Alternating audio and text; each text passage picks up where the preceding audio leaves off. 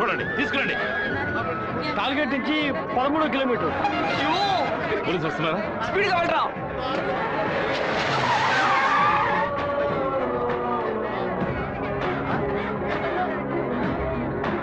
కొంచెం అటువైపు పట్టండి. నార్త్ ఇండియా నుంచి యాత్రకు వచ్చినట్టున్నారు. లారీ వాడు గుద్దేసిపోయాడు డ్రైవర్ మందు కొట్టేసి తోలుతున్నట్టున్నాడు. ఆపకుండా పోతూనే ఉన్నాడు. తెలియ కుదలేదు నాన్న. తెలిసే కుదరు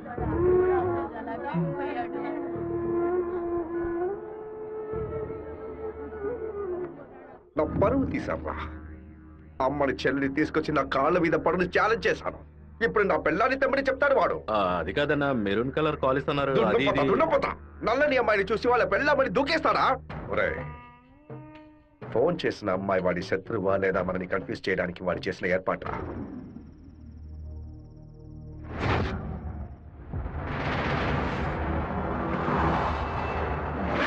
త్వరగా వాడిని క్లోజ్ చేయాలన్నా? కరెక్ట్ బాబు. హైదరాబాద్ నుంచి కార్లోనే వచ్చాడు. మళ్ళీ కార్లోనే వెళ్తాడు. వెళ్ళేటప్పుడు కర్నూలు పైనుంచే వెళ్ళాలి. వాడి బ్యాడ్ టైం. అక్కడ ఇద్దరు అపోజిషన్ ఎమ్మెల్యేలే. నంద్యాల బైపాస్ రోడ్లో టేక్ డైవర్షన్ బోర్డు పెట్టి వాడిని రూట్ మళ్ళించాలి. బాంబు పెట్టి వాడిని బ్రిడ్జ్తో పాటు లేపేయాలి. ఒకవేళ అక్కడ మిస్ అయితే జడ్చెల్ల చెరువు దగ్గర బైపాస్లో వాడిని లారీతో గుద్ది లేపేద్దాం. ఐడియా బాగుంది బాబు. ఒకవేళ వాడు ఫ్లైట్లో వెళ్తే వెళ్ళే రూట్లో బాక్రాపేట నందులూరికి మధ్య ఉన్న సింగు రోడ్డు చెరువు పక్కన ఉన్న మామిడి తోట దగ్గరగా బండి వెళ్తున్నప్పుడు మధ్య రూట్లో తాడి చెట్టు నరికి పడేస్తాం. వాడు భయంతో తోపులోకి పారిపోయే సమయంలో వాడిని నరికేసి అక్కడే పాతేస్తాం. ఒకవేళ వాడు ట్రైన్లో వెళ్తే నేను ఒక్కడనే చాలు. నువ్వు ఒక్కడివేనా అనంతపూర్లో వాడు ఎక్కినప్పుడు వంద మంది జై కొడతారు. వేమల్లో పది మంది భోజనం తెస్తారు. కడపలో నలుగురు దండలేస్తారు. తిరుపతి రాగానే వాడి చెంచాగాళ్ళందరూ వెళ్ళి నిద్రపోతారు. వాడు ఒంటరిగానే పడుకుంటాడు. ఆ టైంలో దిండు మొహం మీద పెట్టి వాడిని చప్పుడు చేయకుండా చంపేసి శవంతో పాటు నదిలోకి దూకి నేను అక్కడి నుంచి ఎస్కేప్ అయిపోతాను. మరుసటి రోజు వాడి శవం నదిలో తేలుతుంది. ఏ రూట్లో వెళ్ళినా వాడి చావు ఖాయం. ఇదిగోనయ్యా కాఫీ.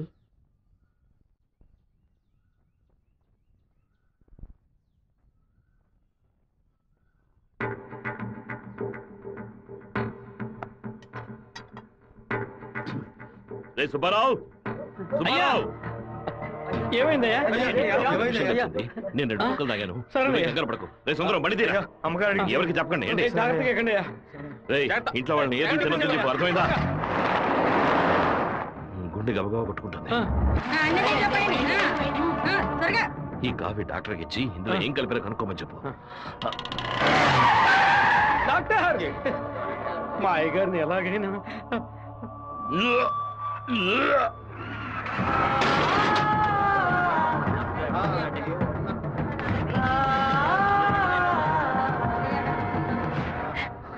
అయ్యో శివ.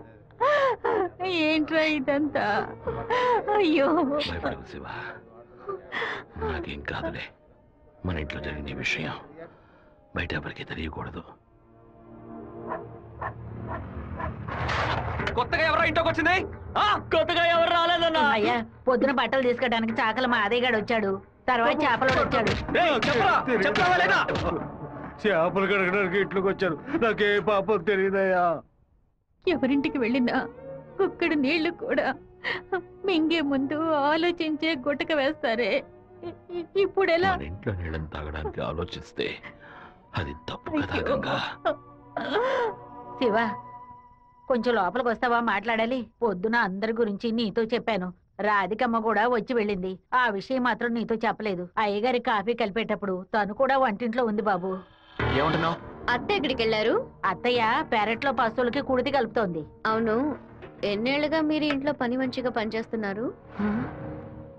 నేను ఇంట్లో పనిచేస్తున్నానన్న విషయం నువ్వు చెప్తేనే తల్లి నాకు గుర్తుకొచ్చింది. ఓ సరే నేను అత్తయ్యతో మాట్లాడొస్తాను. పెరట్లోకి వెళ్తానని చెప్పిన అమ్మాయి అక్కడికి వెళ్ళలేదు వాకిట్లోకి రాలేదు తర్వాత కనిపించలేదు. ఎవరి గురించి ఏం మాట్లాడుతున్నావు? ఆ అమ్మాయి వదిలిన చెప్పులు కూడా వాకిట్లోనే ఉన్నాయి. కావాలంటే వెళ్ళి చూడు బాబు.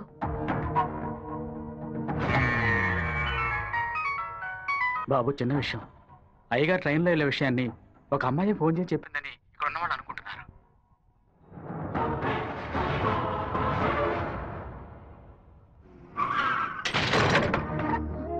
ఏంటిది? వేసుకుని వచ్చిన చెప్పుల్ని మర్చిపోయి వెళ్ళేంత తొందర ఏంటి నీకు? నువ్వు మా ఇంటి వంటింట్లోకి వచ్చింది పాపం ఆ ముసలి దాని మనసుని బాధ పెట్టడానికా? లేక మా నాన్న తాగే కాఫీలో విషయం కలపడానికా? చెప్పవే! నేను చెప్తాను. మీ నాన్నని చంపడానికేరా? అది మీ ఇంట్లో అడుగుపెట్టింది దాన్ని నేనే పంపించాను. ఆవిడ చెప్పేది అబద్ధం. అబద్ధమే కదా? ఏయ్! మీ అబ్బకి విషం పెట్టినందుకే నీకింత కోపం వస్తే మీ నాన్న నా కొడుకుని నడి రోడ్డు మీద నరికి చంపాడే. ఎవరు మీరు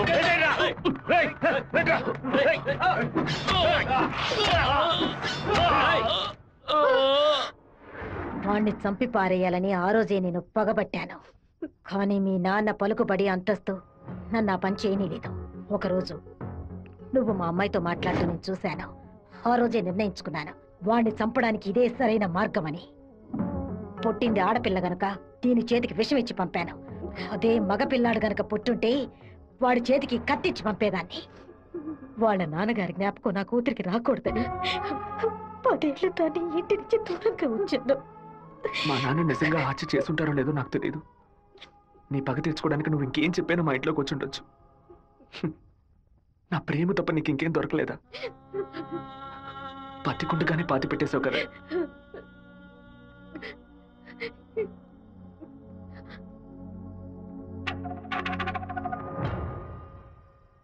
మీరు మాట్లాడుకున్నదంతా నేను వింటూనే ఉన్నాను. నీ భర్త చావుకి నేను కారణం కాదమ్మా. నీ భర్త ఆశపడే ఎలక్షన్లో నించోలేదమ్మా మన జాతి ఓట్లని విడదీయాలని రూలింగ్ పార్టీ వాళ్ళ దగ్గర పది లక్షల రూపాయలు లంచగా తీసుకున్నారే. నీకు సిగ్గులేదు? నేను డబ్బు తీసుకున్నట్టు మిగతా రేయ్, ఇంకా నిజాన్ని కప్పిపుచ్చాలని చూడకు. మర్యాదగా నామినేషన్ వాపస్ తీసుకో. లేదా నీ మొండెమే మిగులుతుంది. రేయ్ నువ్వు మాణిక్యాన్ని లేపే ఏమన్నా అన్నా? అప్పుడే ఆ నింద వీరభద్రం మీద పడుతుంది. ఓట్లు రూటు మారతాయి. నేను ఈ హత్యని చెయ్యలేదని ఈ ఊరే నమ్ముతోంది. నువ్వు మాత్రం ఎందుకు నమ్మట్లేదు? నా కొడుకు నీ కూతుర్ని ప్రేమిస్తున్నానని తెలియగానే వెంటనే వచ్చి నీతో చెప్పాలనుకున్నాను. కానీ నీకు తెలిసే తన మా ఇంటికి వచ్చిందని చెప్పింది. అందుకనే నిజమంతా నీకు తెలుసనుకున్నానమ్మా ఎవరో చెప్పిన మాట నమ్మి పాపం తన మనసులో ద్వేషాన్ని నాటి ఇప్పుడు ఇలా తలదించుకునేలా చేశావే. పెళ్ళి చేసుకుని చల్లగా ఉండాల్సిన పిల్ల తన జీవితాన్ని నాశనం చేశావే.